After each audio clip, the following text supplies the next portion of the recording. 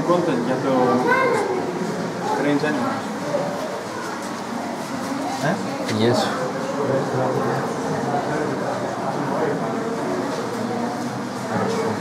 Είναι φίλοι εκεί με το London μουσείο.